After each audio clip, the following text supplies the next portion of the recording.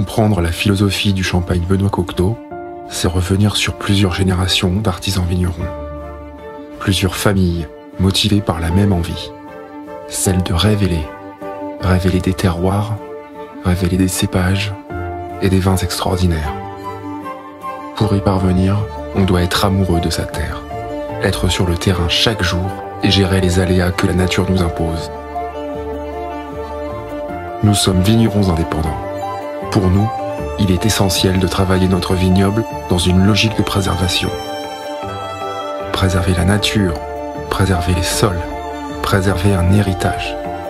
C'est la clé de notre viticulture familiale. Nous sommes des artisans.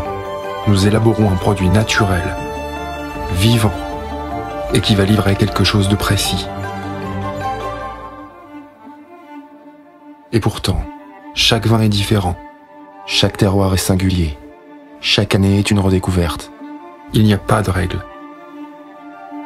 Et pour vous offrir de grands vins de champagne, il faut de grands raisins. Des chardonnays, solaires et fruités. Des pinots noirs, puissants et racés. Tout le caractère unique de nos terroirs que nous cherchons à retranscrire chaque année dans nos assemblages.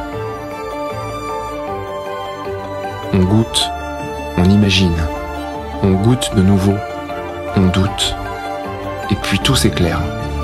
Tout devient évident, logique.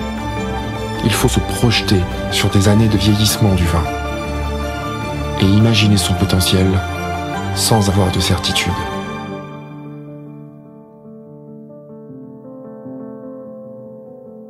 Déguster nos champagnes revient à s'emparer d'un fragment de notre histoire. L'histoire du champagne Benoît Cocteau.